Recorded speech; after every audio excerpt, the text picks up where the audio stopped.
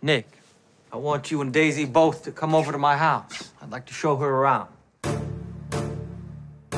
Can't you see who this guy is? With his house, his parties, his fancy clothes. Is all this made entirely from your own imagination? Kind of takes your breath away, doesn't it? Who is this Gatsby? All of the partnerships that we have in the film uh, come out of the story or come out of references or associations that Fitzgerald had during his lifetime.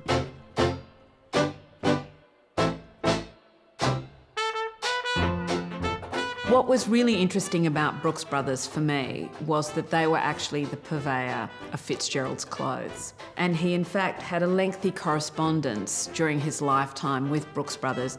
It was a fantastic link between the book itself and a purveyor of men's clothes that still existed to this day. I was very lucky with Brooks Brothers to be able to collaborate with them.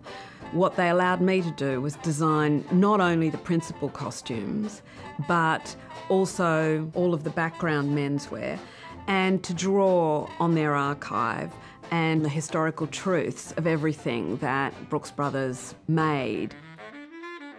One of the quintessential accessories of the 1920s is a straw boater.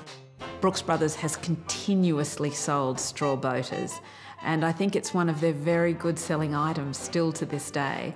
And so that's something that we've made great use of in the film.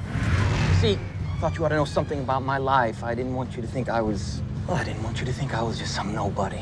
I think what Brooks Brothers and I managed to do is really underline the character differences between each of the men in the movie. You see Nick who starts off being very well educated but relatively unsophisticated, who becomes sophisticated through the process of becoming in contact with the other characters in the film.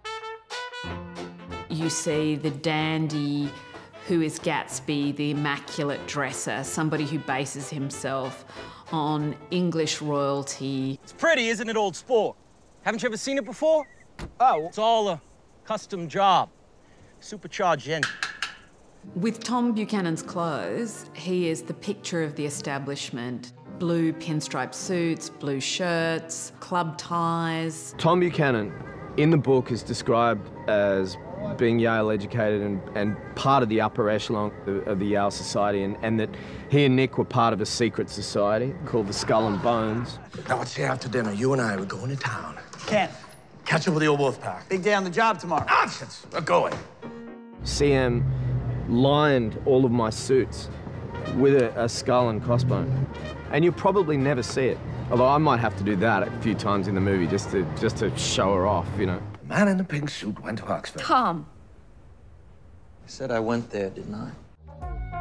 We were very lucky with Brooks Brothers to have access to their vast manufacturing arms, which allowed the clothes to have a kind of a stylish crispness that often doesn't come about when you're actually trying to cobble it together from vintage pieces or from hire houses. Everyone looks like their clothes were made to measure, and that certainly is the world that the Gatsby is set in.